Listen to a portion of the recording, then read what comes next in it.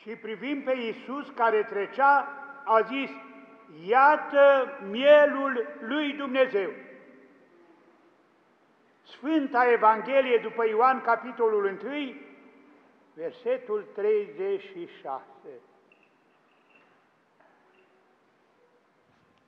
Părinților vicari, părinte consilier, părinte protopop, părinte profesor, preacucernici părinți și iubiți frați și surori. Astăzi este mare zi de sărbătoare. Este Duminica Ortodoxiei. Prima duminică din postul mare este Duminica Ortodoxiei. Altfel spus, este ziua onomastică a bisericii noastre. Oprindu-mă la textul Evangheliei ce s-a citit, îi voi da o interpretare duhovnicească. Evanghelia ne spune că după botezul Domnului Hristos, în cealaltă zi, Sfântul Ioan stătea lângă Iordan, Domnul Hristos a trecut, erau acolo și doi dintre ucenicii lui Ioan și Ioan a arătat înspre Domnul Isus Hristos și a zis, Iată mielul lui Dumnezeu, cel ce ridică păcatele lumii. De aceea și cuvântul meu de învățătură așa îl intitulez. Biserica Ortodoxă îl predică pe Domnul Isus Hristos care ridică păcatele lumii. Îi cheamă pe oameni la Domnul Isus Hristos. Pentru că, de fapt, Ioan, care le-a zis ucenicilor, iată mielul lui Dumnezeu, cel ce ridică păcatele lumii, duhovnicește reprezintă aici Biserica Ortodoxă, care de 2000 de ani arată înspre Domnul Isus Hristos și zice, iată mielul lui Dumnezeu, cel ce ridică păcatele lumii. Cei doi ucenici auzind, l-au urmat pe Domnul Hristos. Unul dintre ei era Andrei. El s-a dus repede și a spus fratelui său Petru, l-am găsit pe Hristos. Și Petru s-a dus la Hristos și Domnul i-a zis, nu te vei mai numi Chefa, ci te vei numi Petru, piatră, piatră. Și apoi Domnul l-a chemat și pe Filip, Filip l-a chemat pe Natanael și Natanael a întrebat, dar poate ieși din Galileea ceva bun, vino și vezi. Biserica Domnului Isus Hristos arată înspre Mântuitorul de 2000 de ani și le spune tuturor oamenilor, veniți și vedeți, veniți și vedeți, veniți și experimentați viața cea duhovnicească. Această sărbătoare de astăzi, sărbătoarea Ortodoxiei care arată înspre Domnul Isus Hristos și le spune tuturor, iată mielul lui Dumnezeu cel ce ridică păcatele lumii, a fost statornicită în prima zi de post, în anul 843. De ce? Pentru că până atunci, pe lângă biserica cea adevărată, s-au ivit o sumedenie de secte, de fracțiuni.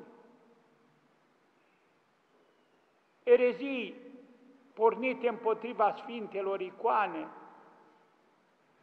Și chiar dacă sinodul de la 787 a limpezit învățătura legată de Sfintele icoane, au mai fost convulsii și în prima duminică din postul mare a anului 843, un sinod de la Constantinopol, un sinod local, a stabilit această sărbătoare mai mult decât atât.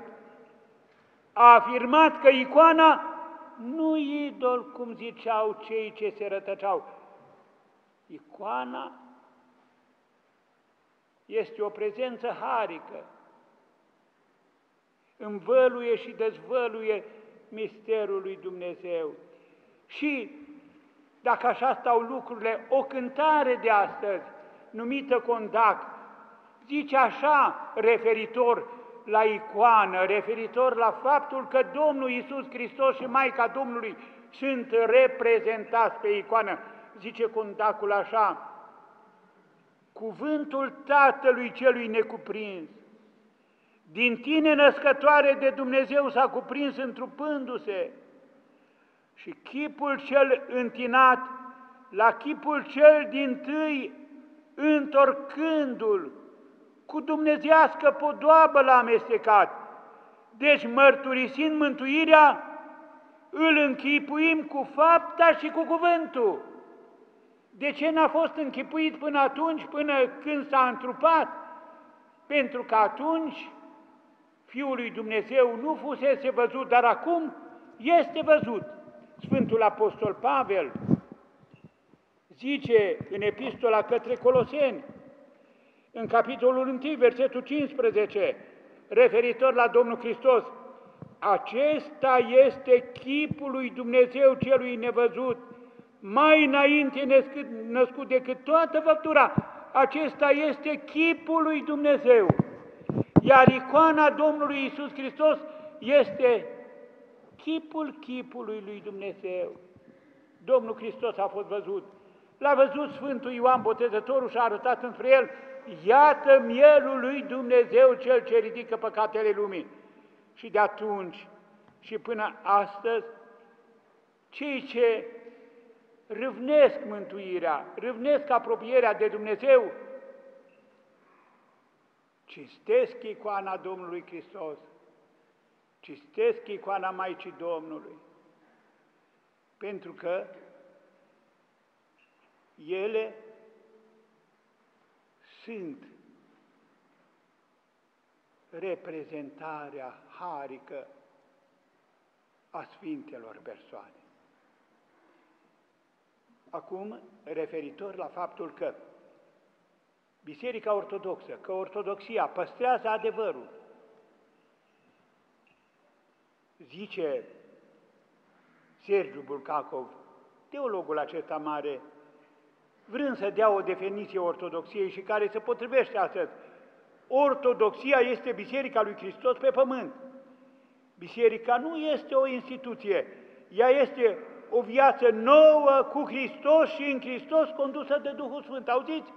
Biserica noastră ortodoxă este viață nouă cu Hristos și în Hristos condusă de Duhul Sfânt. Iată mielul lui Dumnezeu cel ce ridică păcatele lumii. Este viață nouă cu Hristos și în Hristos condusă de Duhul Sfânt. Iar icoana este reprezentarea unei prezențe harice ne pune în legătură cu Domnul Hristos, cu Maica Domnului, cu cei reprezentați pe icoană. Și am zis că sărbătoarea aceasta a fost stabilită în anul 843 după Hristos, atunci când sinodul de la Constantinopol a pecetluit pentru totdeauna adevărul acesta că icoanele pe care le avem noi în biserică sunt pline de har. Că prin intermediul lor intrăm în legătură cu cei reprezentați pe el. Acum, referitor la Biserica Ortodoxă, am zis că s-au scris multe cuvinte frumoase. Dar unul dintre teologii noștri, Teodor Mepopescu, atunci când se referea la Biserica Ortodoxă, a scris câteva fraze pe care neapărat vreau să vi le pun la suflet. Și zice el așa. Pentru că observa Teodor Popescu, cum observăm și noi, că din biserică s-au rupt și alte confesiuni. Zicea Teodor M. Popescu, Biserica Ortodoxă nu caută să impună nimănui autoritatea. Ea nu cere nimănui puterea, ea cere tuturor unire în credință. Auziți? Unire în credință. De unii schimbată, de alții uitată. Ea nu cere nimănui nimic, nici măcar să sufere cu ea și pentru ea. Ea oferă tuturor credința cea încercată în foc, credința de altă dată a tuturor. Ea nu dorește să poruncească nimănui și să umilească niciun creștin.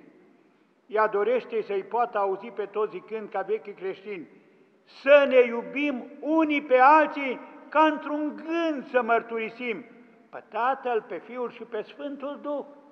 Să mărturisim pe Tatăl, să mărturisim pe Fiul Cel ce ridică păcatele lumii, să-L mărturisim pe Duhul Sfânt, care sfințește toată făptura. Ei, de toate aceste lucruri ne aducem aminte astăzi, în prima duminică din postul mare, Duminica Ortodoxiei, Duminica cinstirii Sfintelor Icoane, pentru că icoana învăluie și dezvăluie o realitate harică. Ea ne pune în legătură cu persoana care este zugrăvită pe ea. Și vezi zice, sau vor zice, cei ce caută argument în Sfânta Scriptură pentru orice lucru, și și noi îl căutăm. Dacă acest lucru e scris în Scriptură, e scris aici, în Epistola către Coloseni, în capitolul 1, versetul 15, referitor la Domnul Hristos. Acesta este chipul lui Dumnezeu celui nevăzut, mai înainte născut decât toată făptura. Dar El s-a făcut văzut și noi îl reprezentăm pe icoană după cum o reprezentăm pe icoană pe preasfânta lui Maică. Și de lucrul acesta ne aducem aminte, pentru că atunci, în prima duminică din postul mare a anului 843, dreapta credință a biruit și de atunci până astăzi Biserica prea cinstește Sfintele Icoane și ține învățătura pe care Domnul Hristos, Sfinții Apostoli și Părinții Bisericii ne-au lăsat-o nouă. Și în această duminică, prima din postul mare, așa cum știți, Sfântul Sinod ne trimite nouă tuturor o pastorală, în care subliniază importanța Duminicii de astăzi. Și în câteva fraze și eu voi citi din pastorala trimisă de Sfântul Sinod. Și zice pastorala, dăm slavă lui Dumnezeu celui treme închinat, pentru că în pofida tuturor încercărilor și ispitelor prin care a trecut și trece umanitatea întreagă, ne-am vrenicit și în acest an să pășim pe calea pocăinței, începând călătoria virtuților, încingându-ne cu nevoința cea bună apostolului, pentru a vedea prea cinstitele pătimiri a lui Hristos și Sfintele Paști duhovnicește bucurându-ne. Duminica de astăzi, Duminica Ortodoxiei, numită prim popas în călătoria duomcească a Marului Post, a fost instituită de Sfântul Patriarh Metodie al Constantinopolului, în urma sinodului local de la Constantinopol din 11 martie 843, care a consfințit oficial proclamarea definitivă a cinstirii Sfintelor icoane. De asemenea, potrivit tradiției statornicite de biserica noastră, în Duminica Ortodoxiei, se inițiază colecta pentru Fondul Central Misionar, prin care sunt ajutate în mod special comunitățile parohiale din țară și de peste hotare, aflate în dificultate și sunt susținute activitățile social-filantropice și educaționale, prin care se păstrează identitatea spirituală și culturală a creștinilor ortodoxi români. Dărnicia, deschiderea cu generozitate spre cei aflați în nevoi, reprezintă un chip luminos al vieții creștine, al unei persoane, al unei comunități și al unui neam întreg. De-a lungul istoriei, românul creștin ortodox a învățat că numai dăruind va dobândi ceea ce l-a determinat ca din puținul lui să dăruiască și celor lipsiți, pentru ca și el să fie ajutat la momentul de grea încercare. Astfel, bunătatea și dărnicia, de care au dat mereu dovadă strămoșii noștri și părinții noștri, a devenit pentru popor un prilej binecuvântat de a spori spiritual în credință în fapte bune, de a păstra o legătură puternică de frățietate cu românii aflați printre străini, dar și de a păstra numele de bun creștin, arătând că iubirea față de Dumnezeu se împletește frumos cu iubirea față de semeni. Avem convingerea și speranța că și în acest an veți răspunde cu dărnicie creștină chemării de ajutorare a celor aflați în nevoi, contribuind la continuarea lucrării misionare și social-filantropice a bisericii spre folosul credincioșilor ortodoxi români de pretutinde. Și se încheie pastorala scriind așa, dorindu-vă să aveți parte de post binecuvântat, cu mult spor și folos duhovnicesc, vă îmbrățișăm cu binecuvântare sfântă. Harul Domnului nostru Iisus Hristos și dragostea lui Dumnezeu Tatăl și împărtășirea Sfântului Duh să fie cu voi, cu toți. Și semnează această pastorală preafericitul Părinte Patriarh Daniel și toți membrii Sfântului Sinod. Așadar, iubiți frați și surori, astăzi când avem bucuria de a fi la Măreața Biserică din Mănăștur,